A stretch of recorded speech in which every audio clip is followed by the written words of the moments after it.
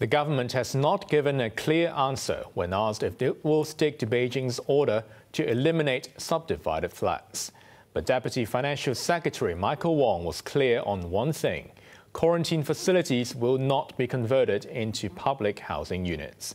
Here's Macy Mok again.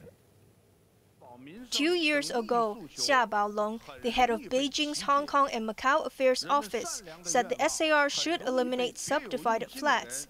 Officials were asked today if this remains the goal, as there are mixed signals from the policy address, with the new task force set up to consider the standard for living conditions in subdivided flats. Deputy Financial Secretary Michael Wong, who heads the task force, did not give a direct answer.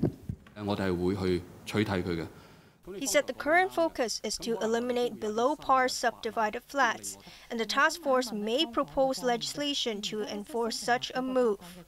A survey will be carried out to find out the number of subdivided flats before the task force submits its recommendations in August next year. Wong was also asked if the government will utilize quarantine facilities to speed up the supply of temporary housing units.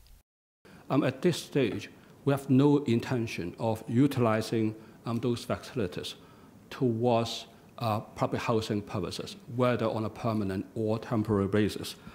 Development Secretary Bernadette Linn said the government is proposing that old buildings can be sold if at least 65% of flat owners agree to do so, instead of 80% as at present.